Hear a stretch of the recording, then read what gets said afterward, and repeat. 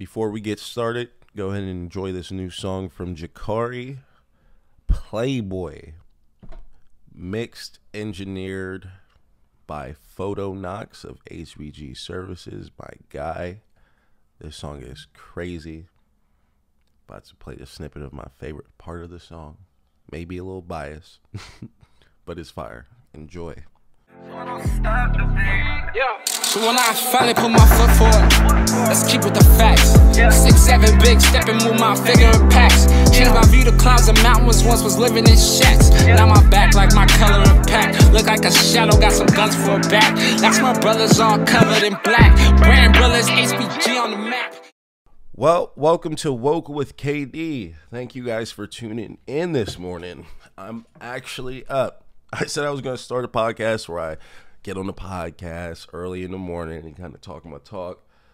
And then the motherfucker couldn't wake up. So I just kept going back to sleep and waking up around like 12 and shit. Can't be woke and wake I mean, I guess it could be at any time you wake up. That's kind of cool, but no. Try to start it off right in the morning, right when I go on IG, you know, check the emails, use the bathroom, all that fly G shit. So, essentially, man, I feel like a, a, a animal in a cage, you know, but I don't know how to like properly release my message. So that's why we have a podcast. Because I just want to come on here and rant. There's no specific point to this podcast, but for me to come on here and talk about yet and smoke on that top secret Project 4516. Y'all, the best fucking thing smoking on the goddamn earth. What does it mean when this when the flavor goes to the store and it sell out immediately? I mean, it's popping, right? Uh huh. Uh huh. 4516. Shout out to my guys, Grandy Flora. Oak Fruitland, John, your daily tote. Mm. Motherfuckers is lit. So today was interesting. I woke up feeling good. That was great. I feel like whenever I'm waking up on a great start to my day, Instagram knows how to put some shit in my feed that just throws me off for a loop, right? That's why I kind of give a little bit before I check my phone because I'm not trying to start off the day pissed off. But I got caught lacking today, of course and I check my phone, and there's the video which I've been avoiding, which is that one white dude telling that black kid to get out the neighborhood. Fucking trash. All right, pretty point blank period. Point blank period. It's trash. Okay, type of behavior. I, I just don't understand it, but whatever. You know what I mean? I just know that there's eventually there's a, a shift in the pendulum. You know. Um, a motherfucker that's racist, I don't think it's as easy as it was before to raise kids that take your same belief. So like if a motherfucker, you know, super racist, whatever, he's like, you know, we don't fuck with those type of people, right? Whatever it may be. I don't think if your daughter or your son's on social media, TikTok, Instagram, anything, even even on the goddamn Minecraft, playing video games, watching streams, on YouTube. It's impossible to kind of create like racism based off of old thoughts, right? Like if someone's like if a new kid's racist today, I think it would be more based off of experience as opposed to actual programming. So, and of course, like you know, I'm, you can't have a world with no racists, but I believe we could reduce the percentage of that like feeling inside people, right? And because I personally think it's programming. At the end of the day, we're a human race. If an alien shows up today or some shit from out of this world, we're gonna have to band together. Simple. If the aliens came down and wanted to do some Dragon Ball Z fucking uh best fighters of the earth, yo guys versus high guys or some shit like that, I don't think we're just choosing only white people, black people, or Asian people just to go. I think it's going to be who is the best, who is the most fit human, who could put hands on these alien motherfuckers.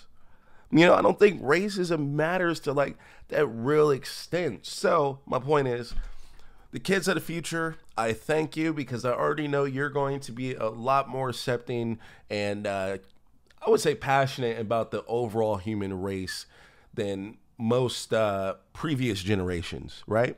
Because I know for me, I'm a shift in like a big, you know, uh, like my age, whatever generation, I forget, I think Z, whatever it is, the people, let's say two ger- generations behind me, they have a certain mindset, but that mindset is off of programming, respectfully.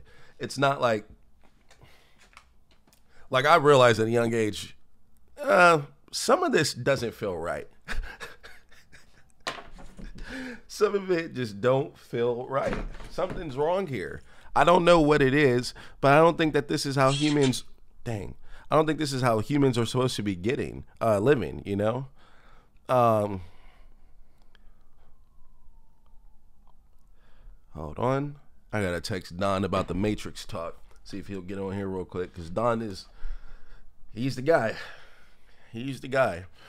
Um, so yeah, I don't I don't think it's gonna be as prevalent in the future. I don't think my kids are gonna have to deal with it as much. Now there may be different levels of racism going forward that's like way beyond race, like, you know, technology's advancing, so then racism may be like, oh, you don't have iOS two. Mm. You know what I mean? Like it may be some weird shit.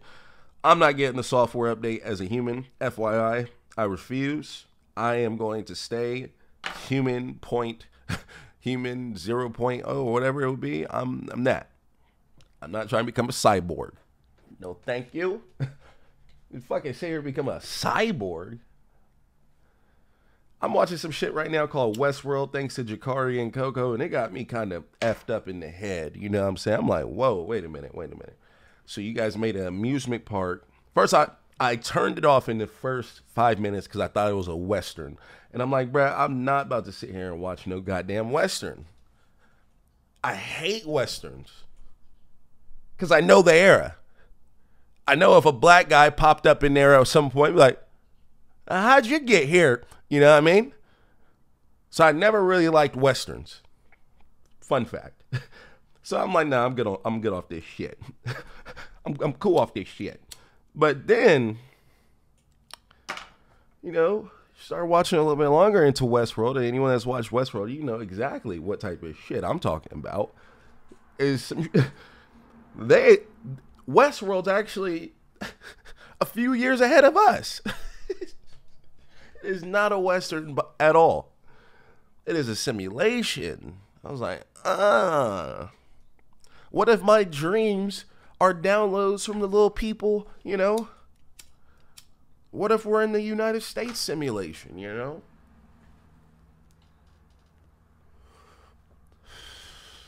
I would actually believe that we're in a Sacramento simulation.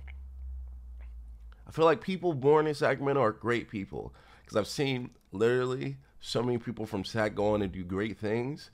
And it almost makes me think, are we the only ones on earth? Like honestly, is the whole earth watching us? I've always felt that. I've always felt that. I don't know why, but I feel it. You know, gut instinct type shit. Like something special with us out here. So, what is that? What's going on? You know? I don't know. Shit. Uh but yeah, um that's kind of some of my in my head there on some what they would call conspiracy stuff because I'm just always trying to figure something out. And then sometimes you gotta take a break. You gotta be like, you know what? I'm about to just live in a loop for a little bit and go to work because I don't know what. I just found out some crazy shit. you know, you find out some stuff, you just gotta sit down like, whoa, Lord Jesus. And it all add up. Sometimes not everything's coincidence. So, and first off, this is not a conspiracy podcast, but I've been I watched Westworld last night for the first time, blew my mind. I come on here and I see this on Instagram, the dude. I don't know. That's how I'm feeling this morning. But essentially, I feel good because I know that I'm in control of this matrix, you know? It's all it's all here for us to just create, do what we need to do. Key thing is that you do it. Gotta fucking do it. Man, I've been sitting here. I'm doing some sales this morning. Yesterday, I did a whole bunch of cold, cold calls. We called like over a hundred stores in Maine, uh, Michigan, and uh, Massachusetts. Like a whole bunch of East Coast places, and it was fun. Got to talk to a whole bunch of people on the East Coast. I don't know. They they had good conversation. It was uh, it was enjoyable. I liked it. You know what I mean? Um, but working on getting Koko Nuggz everywhere on earth, so you know how that goes. It's a daily job. You got to stay on it. You know what I mean? There's so many stores already up, new stores coming out, new brands, dispensaries, smoke shops, hookah shops, all that shit. So, hey, I'm going to sit here and I'll be calling you. Introduce, well, how are you? How the hell are you? Man, so this podcast is pretty cool. My thoughts are very uh I always felt like my thoughts are scattered. You know, they kind of just go everywhere. Think about a lot of random shit throughout the day. So why not just record myself? I sit here most of my day, work on the computer, and make plays. Try to make plays. I make plays. and I am uh I want to hear. You know, I want to come back a year from now. Like Joe Budden has whatever 400, 300 episodes. He could go listen to himself and hear his thoughts clearly from years ago. And then people years from now could go back and hear Joe Budden's thoughts from the 2000s. Like, what? Sign me up. I need in on the podcasting, period. It's kind of endless. So, you know, I'm gonna go ahead and give it a run. Oh, we got a nice little sale coming in through. You want some jars, some pound bags, some baggies of the cocoa. And just so you guys know, because I found out, had no clue, but there are people that actually still have no clue that it's chocolate. And if you were wondering, yes, it is chocolate. And just because we designed the bag for the 4516 does not mean that Cocoa has changed. It's still chocolate. I don't sell weed. I do not sell weed. It's chocolate, people. It literally is made in the shape of weed.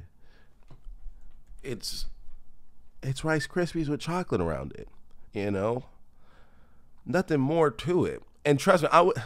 I can't lie to you. I can't be like, yo, no, it's not weed and actually walk away and give you weed. You know what I mean? Like I can't give you weed and be like, no, it's not weed, and then walk away. I'm pretty sure if you get high and you get sick, someone's going to jail.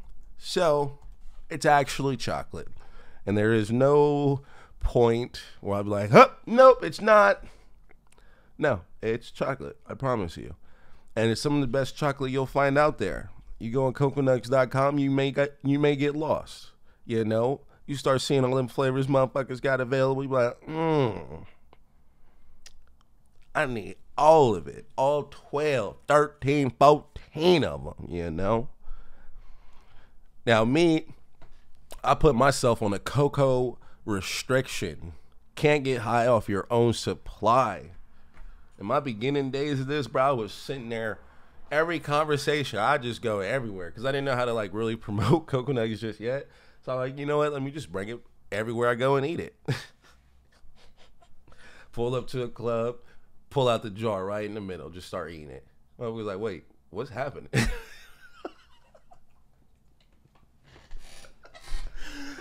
Yo, when I first started it, and I was filming all those events for like, let's say Echo and uh, every I mean my everybody. We were filming everything in LA. We were filming though. I would go to events with the Koko Nuggz and just casually sit down somewhere, pull them out and eat them. motherfuckers walk by, they be, you know, motherfuckers be side eyeing you, shit. Uh, ooh, um, what is he doing? He's just taking it to the neck, huh? oh my gosh, the greatest joy I get is pranking people with Koko Nuggz. Though still, I try to let my followers know so they can be aware and in the loop and enjoy it as much as I do. But at one point, I became addicted to breaking people. It's like, yo, everybody thinks it's weed. That's one thing. There's no question anymore. Everyone thinks that this right here is marijuana, and I could fuck with people. That was the greatest thing ever. It was fun. It was fun. So, yeah, man, Koko Nuggz is just chocolate, but it's some of the best fucking chocolate that there is. Now, what time is it? Eight thirty. Sitting here, toki toki on me, blunty blunty, and um, trying to get it going. I need to get this. Uh, need to get this uh, flyer done. Hmm. Sorry, guys. I'll be sending text messages. Oh, also, this show is called Woke with KD, but I will be actively working during the show. So I may get a phone call. I may have to call somebody. I may have to send a text message. I may have to send an email. I'm sitting here at my computer looking for a play. That's how I start off my days. Um, because you got to get to it. At what point? Why would we sit here and wait for them to be like, here's the opportunity you've been looking for. Yeah, I've been looking for it. I know. Spent my whole life looking for this motherfucker. Putting the work in behind it too. But I'm not gonna wait till it's given. I'm going to take it. There's a there's a whole different mindset there. If you wait for it to be given, it may not ever be given. And it may be given too late.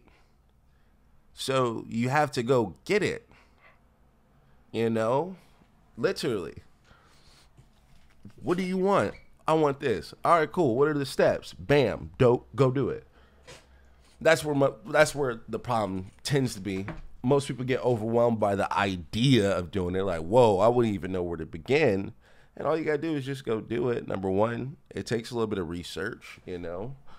But you can't be so exhausted by like whatever else you're doing to where you won't put in the work to you know go in that direction. That's that's like uh, you want to go in this direction. You know you're doing this to, you know to do what you got to do. But there's small things like every day one task a day towards your dream I think if you spend a whole year doing one task a day, that's 365 things you got done towards your dream as opposed to the usual one and a half.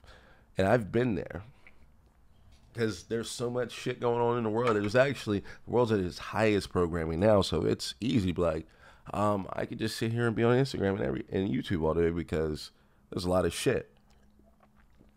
But you don't want to be on the other side, just watching. You know, you want to be in the field affected, and that's just the key point. Like, I want to affect where this goes. I want to put my fucking grips on it, you know? I don't want to just live in a loop. Tired of the loop. Fucking tired of the goddamn loop. Like they just put you in it and you just go in it and you just buck your fucking head. No. I'm not doing it. And motherfuckers I love ain't doing it either, too. Hell no. I hope that anyone that follows me, they at least pick up something along those lines. Well, if this fucker did it, I could go do something. And I haven't done shit. But I'm doing something. And that's the key point is like just go do it. Fight the loop, man. Shit. I get so frustrated by it because sometimes I'm full on working and I find myself going back to the loop to retreat because this work is so unpredictable. You don't know where it could go. It's stressful. It's fucking, you know what I mean? It's nerve wracking. You're literally creating something that doesn't exist. You know what I mean? It's or forging something that's like it's like you literally had to do it. And it's frustrating as shit, but it's so rewarding. And it feels good. It feels good. It gives me adrenaline rush. Yes, I feel the fucking the power. Yes. But damn that loot. Damn it. Out of high school, I almost went to the Marines. No. almost. Then reality came in. And then I was like, all right, fuck it. I'll just go to the Air Force. And then guess what? Get what happened? I failed a drug test. Thank you, Lord, for the cannabis industry. Save me from going. Thank you, Jesus. Um, yeah, I I failed. Air Force, he's like, hey, um, yeah, you got a lot of weed in your system, buddy. um, we're not going to put you on the ban list from all branches, but you just can't come to the Air Force, buddy. I'm sorry. I was like, oh, okay, no problem. Cool. I could go tell my family this and be like, I tried. Thank you. Uh.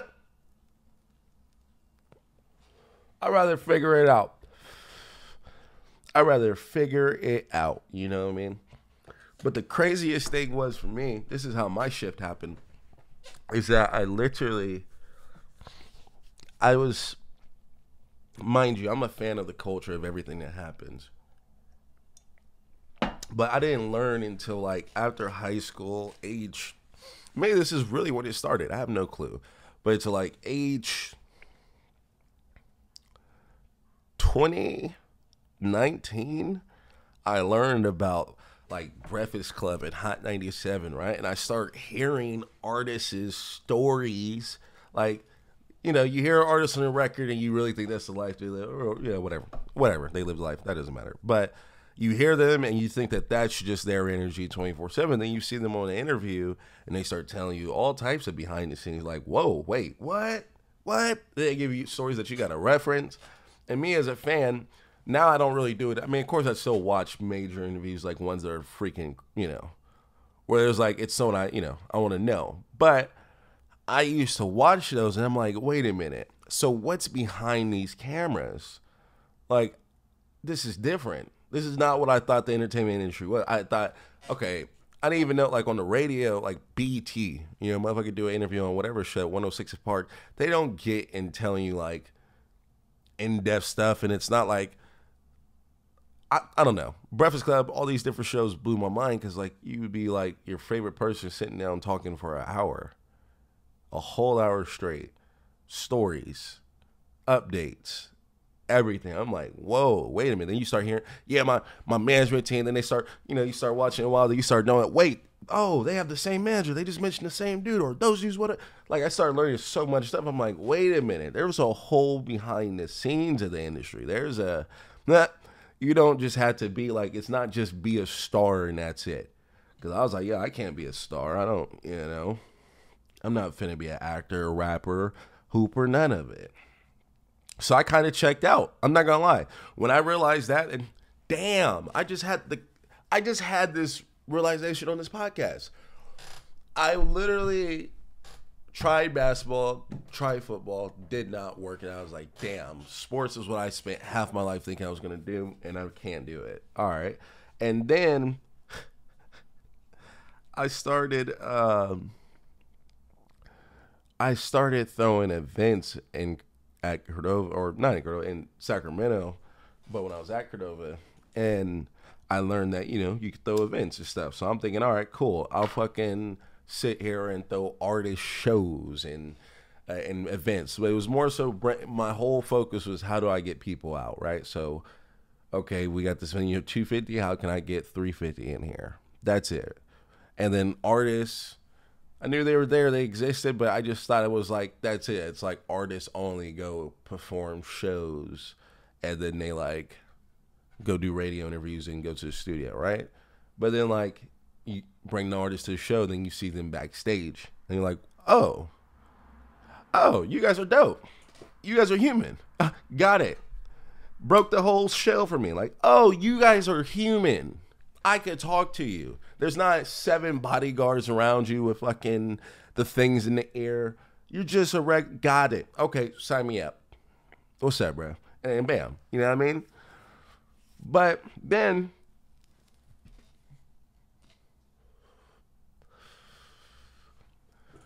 I sat there and I was like, I got to San Diego and I couldn't throw parties the way I thought. And I had no other clue of what I could do. I was like, okay, well, all you think I can do, I've only seen like I've done events. So I know I could be a security guard or I could, you know, work for a venue or I could like, I don't know, become a promoter again. Right. So I kind of canceled out everything. I got turned down from the Marines, or not Marines, the uh, Air Force, and I definitely wasn't fucking with the Marines. Couldn't do it. So then I'm like, I moved to San Diego. I started working at a call center, and I started working at Apple. Now the transition was crazy. So I was at the call center. That's when I started watching Breakfast Club and stuff like that, and kind of started waking up. I'm like, wait a minute, there's there's other roles in the industry. Like these infrastructures have buildings because Charlemagne just said that there's uh, like 50 shows going on in the same building. So I'm like, oh, this isn't the Breakfast Club radio tower. It's it's the Power 106 building. And then in there's a whole bunch of different radio shows. But that means all those people are in one room.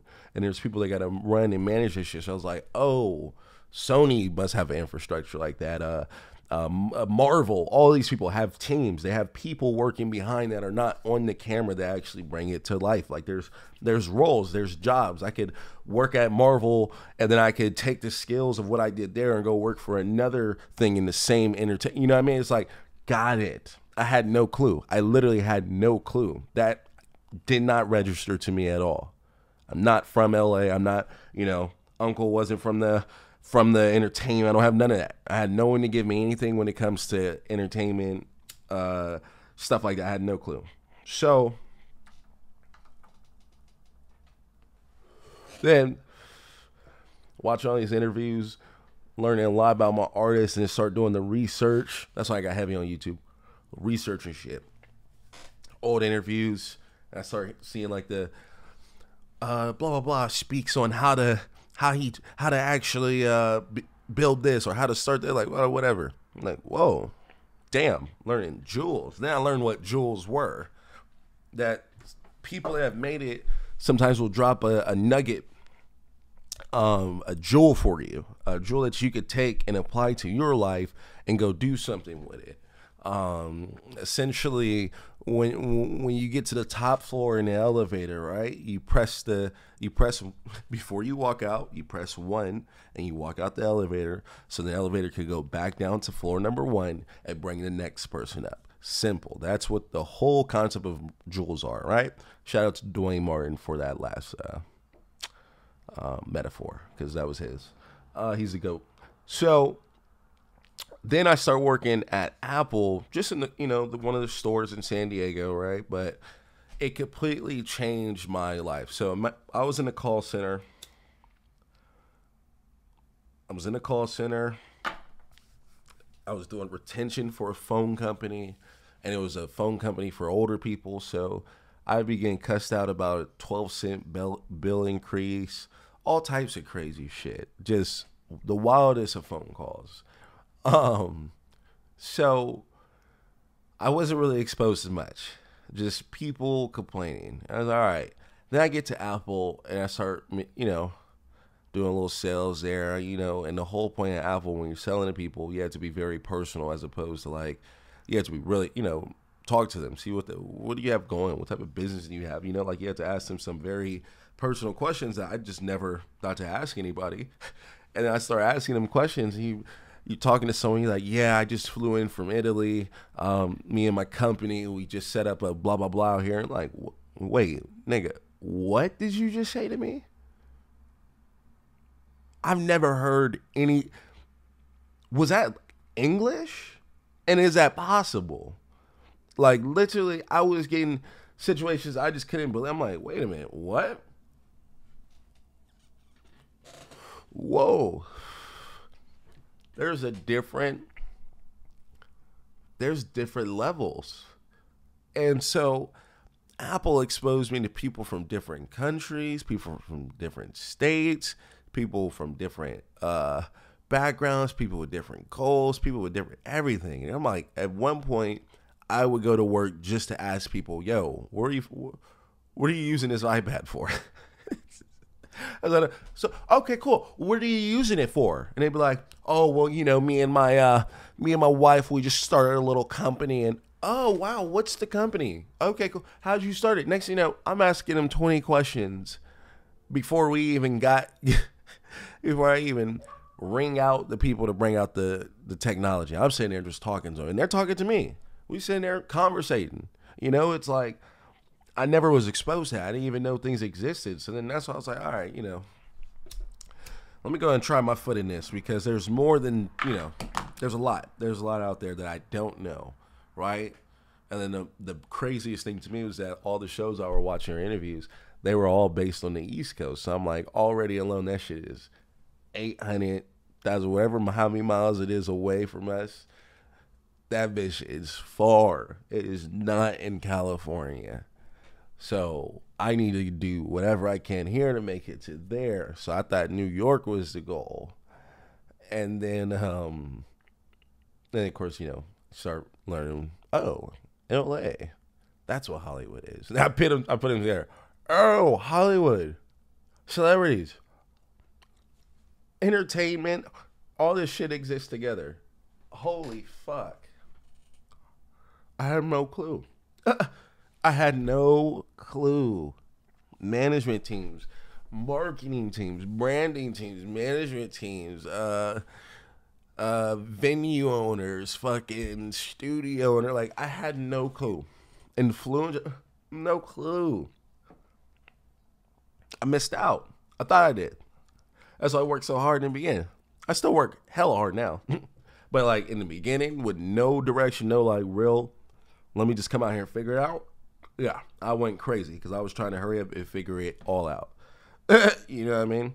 So it's like now that I've done my little R and D, research and development, now I'm ready to build, i.e., Brand Brothers USA. You know, but it's like you got to figure it out. You have to.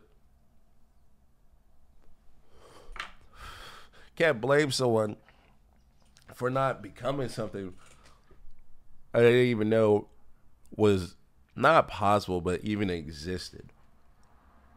You know? Sometimes it's beyond, oh, is it possible?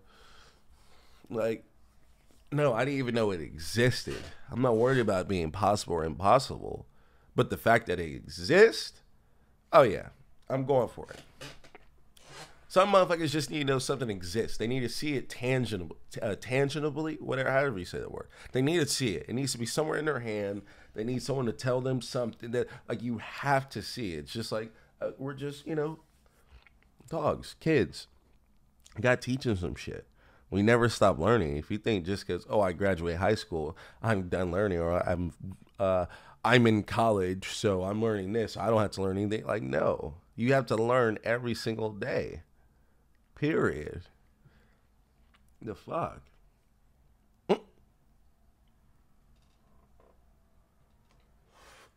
Yeah, so I don't know. It's my download. I don't know what. We covered a lot today. Uh and it felt good. This is therapy. This is this is I come in here and think about this shit.